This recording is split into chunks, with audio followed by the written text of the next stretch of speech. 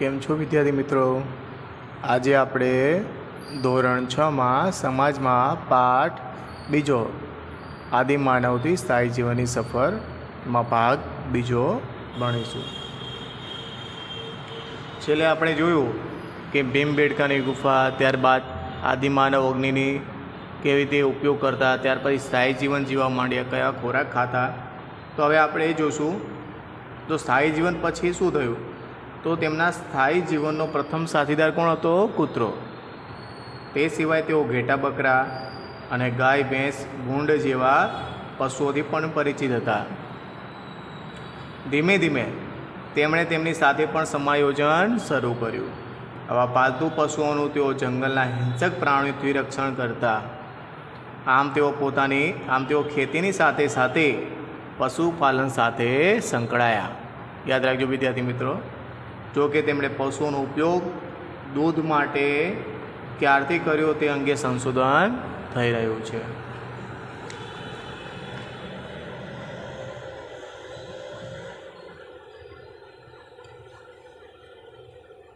હવે છે સ્થાયી જીવનની ભોજન, રહેઠાણ અને પોશાક. સ્થાયી જીવનમાં એ લોકો કેવું ખોરાક, ભોજન કે રહેઠાણ કરતા? તો કૃષિ શરૂઆતે પશુપાલન અને પશુપાલન પ્રવૃત્તિએ આદિમાનવને ભટકતા જીવનમાંથી સ્થાયી જીવન તરફ પરિવર્તિત કર્યો. આપણે જાણીએ છીએ કે કૃષિ માટેના સ્થળોને છોડીને જઈ શકાતું નથી, કારણ કે પાકને ઉગતા થોડો સમય લાગે છે. તેને પાણીની જરૂર પડે છે અને પાક તૈયાર કરવા અનાજના છોડને કાપીને તેમાંથી અનાજ કાઢવું પડે છે. આ પ્રક્રિયાએ ભારતમાં સ્થાયી જીવનની શરૂઆત કરી. વિદ્યાર્થી મિત્રો, યાદ રાખજો, સ્થાયી જીવનની શરૂઆત કેમ થઈ? તો જ્યારે એ લોકો કૃષિને અથવા કોઈ પાક ઉગાડતા, ત્યારે એ પાક ઉગવા માટે થોડો સમય લાગે અને પાણીની પણ જરૂર પડે. અને પાક તૈયાર થયા પછી પણ અનાજના છોડને કાપીને તેમાંથી અનાજ કાઢવું પડે, એટલે આમાં સમય લાંબો જાગે, લાગે. માટે આ પ્રક્રિયાએ ભારતમાં સ્થાયી જીવનની શરૂઆત કરી. અનાજનો સંગ્રહ કરવા તેમણે માટીના માટલા ઘડા વગેરે બનાવવાની પણ શરૂઆત કરી કે હવે અનાજ ઉગ્યા પછી એનો સંગ્રહ ક્યાં કરવો? તો એના માટે એ લોકોએ માટીના માટલા અને ઘડા બનાવ્યા. હવે ભટકતા જીવનનો અંત આવતા તેમના ખોરાક, પોશાક અને રહેઠાણમાં વ્યાપક પરિવર્તન આવ્યા. તેઓ ઘઉં, જઉં અને પશુઓના માંસ ઉપરાંત માછલી અને તેમની વસાહતની આસપાસના ફળો ખાતા. ગારા માટી અને ઘાસના મકાનોમાં રહેતા. કેવા મકાનો ગારા, માટી અને ઘાસ. ખેતી કરતા. ખેતીના ઓજારો પથ્થરોમાંથી બનાવતા. જેમાં ખુરપી, છીણી અને દાંતરડાનો સમાવેશ થાય છે. નીચે આપેલા કોષ્ટકમાં ભારતની એવી જગ્યાઓ બતાવવામાં આવી છે જ્યાં અનાજ રહેઠાણ ઓજાણ અને પ્રાણીઓના અવશેષો મળી આવ્યા છે.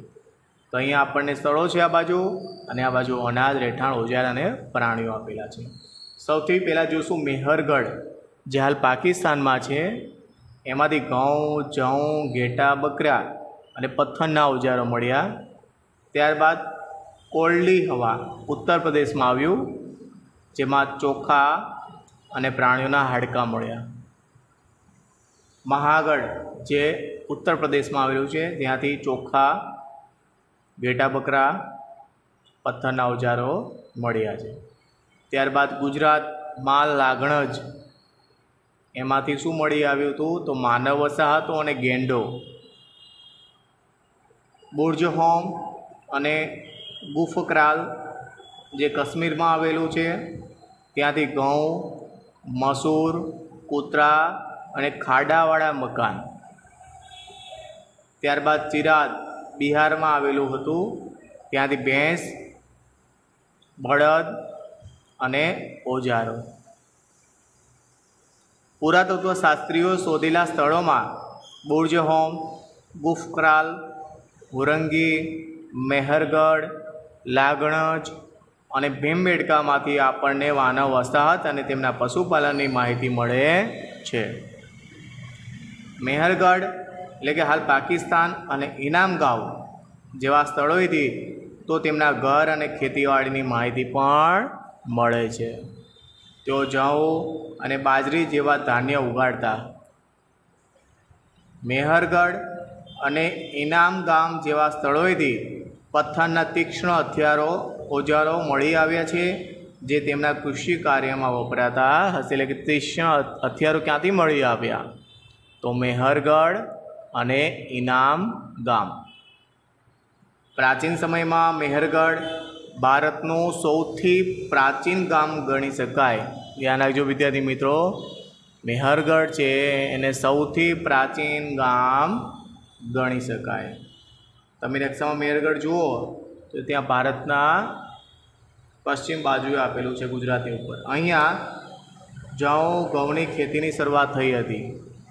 તો ઘેટા બકરા પારતા તેઓ ખેતી કરતા, અનાજનો સંગ્રહ કરતા અને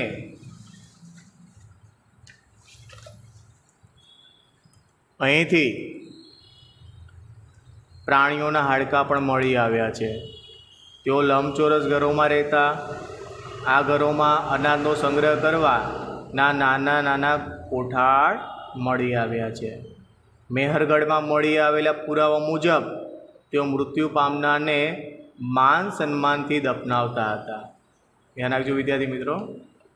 અહીંથી આવા ઘણા પુરાવા મળી આવ્યા છે. એક જગ્યાએ મનુષ્યની સાથે બકરીને પણ દફનાવવામાં આવી હોવાનો પુરાવો મળ્યો છે. આ બાબત તેમના મૃત્યુ પછીના જીવનની કલ્પના કે માન્યતા સૂચવે છે. આવી જ રીતે મહારાષ્ટ્રમાં ઇનામ ગામ ઇનામ ગામ ક્યાં આવેલું છે? મહારાષ્ટ્રમાં. ઇનામ ગામ નામનું સ્થળ મળી આવ્યું છે. જ્યાંથી બાળકોના મૃતદેહોના અવશેષો મળ્યા છે. તેઓ ગોળ આકારના ઘરોમાં રહેતા, પશુપાલન કરતા અને ખેતીના પાકોમાં બાજરી અને જવ પકાવતા હતા. ખ્યાલ આવી ગયો વિદ્યાર્થી મિત્રો આ પાઠમાં? તો હવે આપણે સ્વાધ્યાય જોશું.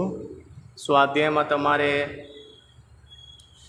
વિકલ્પો આપેલા છે, ટૂંકમાં ઉત્તર આપો અને ખરા ખોટા. તો આપણે જોશું પહેલાં વિકલ્પો.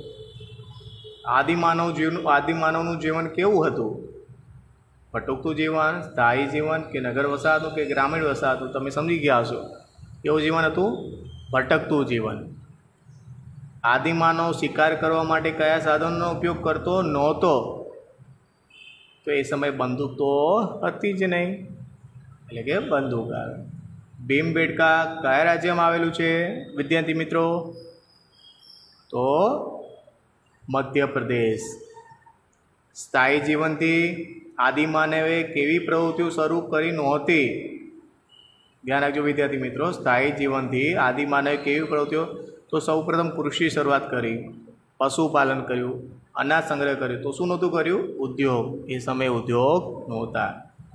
હવે સ્થાયી જીવન માટેની જરૂરિયાત શા માટે ઊભી થઈ? તો હમણાં આપણે વાત કરી કે એ લોકો જ્યારે પશુપાલન કર્યા પછી કૃષિના પાક ઉગાડતા, તો એ પાક ઉગવામાં એમને સમયની જરૂર પડતી, ત્યારબાદ પાણીની પણ જરૂર પડતી અને એને ઉગ્યા બાદ લણણી કરવા માટે કાપવાની પણ, એટલે કે અનાજ દાણા છૂટા કરવાની પણ જરૂર પડતી.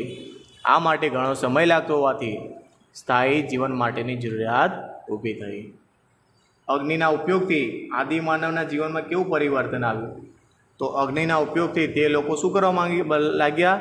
તો આદિમા આદિમાનવ અગ્નિના ઉપયોગ દ્વારા પોતાનો ખોરાક શેકીને ખાવા લાગ્યા. પ્રકાશ લાવવા માટે એટલે અંધારાથી દૂર થવા માટે પ્રકાશ લાવવા માટે તેઓ અગ્નિનો ઉપયોગ કરવા માંડ્યા. અને જંગલી પ્રાણીઓથી રક્ષણ મેળવવા માટે અગ્નિની ઉપયોગતા વધી ગઈ હતી. આદિમાનવ કેવા પાકો ઉગાડતા? તો આદિમાનવ ઘઉં, જવ, બાજરી, ચોખા વિવિધ ધાન્ય ઉગાડતા હતા. આદિમાનવ કેવા પશુ પાળતા? તો આપણે પહેલાં પણ જોયું, ગાય ભેંસ, ઘેટા બકડા બળદ, ભેંસ અને કૂતરો પાળતા. હવે છે ખરા ખોટા. સ્થાયી જીવન શરૂ થતાં આદિમાનવે હિંસક પ્રાણીઓ પાળવાનું શરૂ કર્યું. ના. કેવા? પ્રાણીઓ? પાલતુ પ્રાણીઓ પાળતા. હિંસક પ્રાણીઓને એટલે આપેલું ખોટું. પાષાણ યુગમાં પથ્થરના હથિયારોનો ઉપયોગ થતો.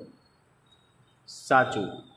ભીમબેટકામાં આદિમાનવી સિંહ અને વાઘના ચિત્રો દોરેલા છે. ના, એ સમયે વાઘ અને સિંહ તો હતા જ નહીં. જોવા જ નથી મળ્યા. તો એ લોકો શું વધારે વાપરતા? પશુ, વૃક્ષો અને માનવીઓના ચિત્રો મળી આવ્યા છે. સિંહ અને વાઘના ચિત્રો મળ્યા નથી. ભીમબેટકાની ગુફાઓમાં પ્રાકૃતિક રંગથી ચિત્રો દોરેલા હતા. હા, એ સમયે પ્રાકૃતિક રંગથી ચિત્રો દોરેલા હતા. એટલે એ સાચું. પહેલું ખોટું, ત્રીજું, બીજું સાચું ત્રીજું ખોટું અને ચોથું સાચું. ખ્યાલ આવી ગયો વિદ્યાર્થી મિત્રો? સ્વાધ્યાય તમારે લખી નાખવાનું છે નોટમાં. સારા અક્ષરે. ઓકે, આવજો.